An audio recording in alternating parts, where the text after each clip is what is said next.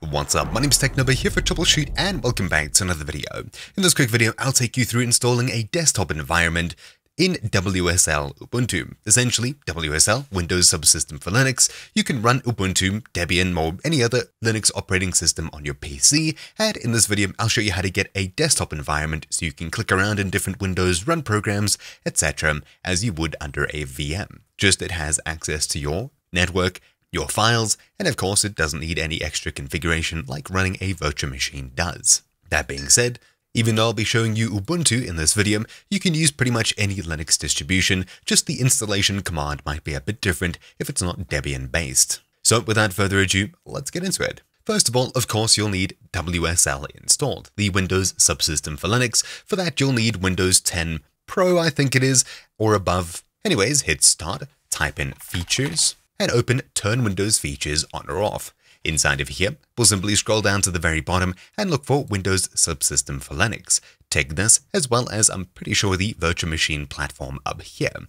Once you have both of these ticked, hit OK, and the features will then be downloaded and activated. If it asks you to restart your PC, now's the time to go ahead and do so. Then, when you're back onto Windows, hit Start and open either PowerShell or Windows Terminal if you're on Windows 11, and inside of here, type WSL space hyphen hyphen set hyphen default hyphen version space 2 and hit enter. Then you'll see something about this. Please visit this URL here to download it. It'll be aka.ms slash WSL2 kernel if you need to download a kernel. Otherwise, if you see this here, completed successfully, you don't need to worry about downloading anything. If it tells you to download a kernel, simply control click on the link to open up the web page and it'll look something like this. Click the download button over here to download it onto your PC and open it up when it's done downloading. Then once you've installed that, once again, try to run the WSL set default version 2 command, and when you've done so, it says successfully, we can go ahead and install an operating system. For me, as I mentioned before, I'll choose Ubuntu, so I'll open up the Microsoft Store, then I'll search for Ubuntu, and you can pick one of thousands of versions here.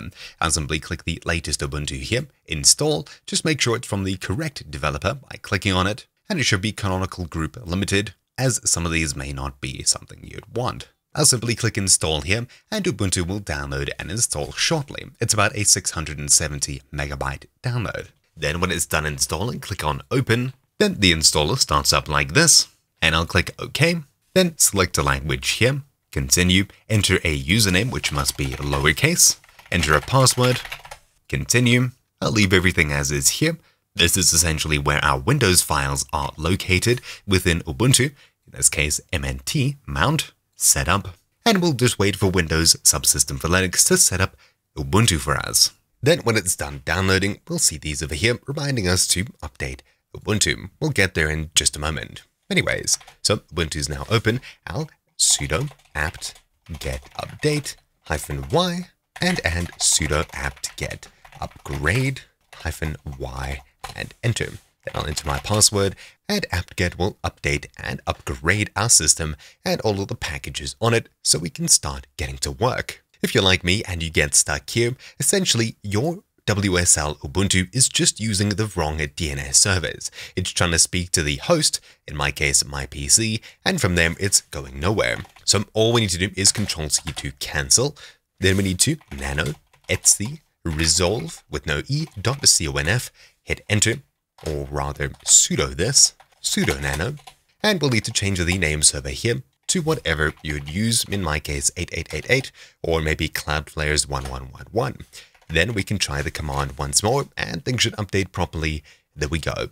Now, all we need to do is lsb underscore release tag A, and we should see what version of Ubuntu we're running, in my case 2204.1, which is good, everything's working as it should. If you'd like, you can also sudo apt install maybe neofetch, there we go, you can see the version that I'm running here is currently on Windows 10 8664. Awesome. So I'll control C or wait for this to finish and we can start installing our desktop environment. sudo apt install tag y and we'll be using xfce4 in this video, though you could pick a couple of different options here, even Ubuntu desktop. I'll hit enter and wait for this to download. Then I'll run sudo apt install xfce4 goodies, yes, and I'll copy and paste four commands from the description down below. These ones here. Essentially, we're backing up the XRDP configuration file, we're changing the port to 3390, setting the max bit depth to 32-bit, just for better colors as we're not optimizing for network here, because we're simply connecting to it from our local PC.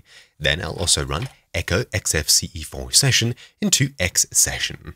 Now we'll need to edit a file and set up our RDP. I'll sudo nano etc xrdp start wm.sh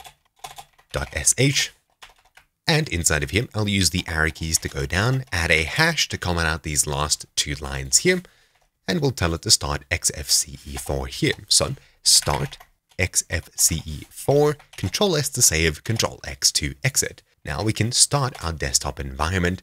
Now we can start our RDP with sudo etc init.d xrdp start. Now we've started our RDP server, I can simply open remote desktop connection like you would on any other computer, and inside of here I'll run localhost colon 3390 to connect to our server. Then you'll be prompted to accept a few times, simply click yes to all of them, and you'll be presented with this.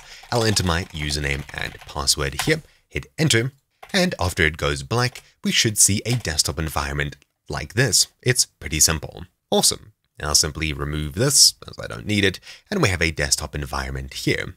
Of course, this isn't actually Ubuntu's desktop environment, this is XFCE4, so if you don't like it, you can always change it. If we go ahead and close out of this, or rather head back to our server, and we nano the startwm file, you can see we used start xfce4 here to start our desktop environment. Essentially, you'd change this to whatever you'd want, this will do most of the things a normal Linux computer will do, though it's running inside of WSL, which is really useful. So anyways, that's really about it for this quick video.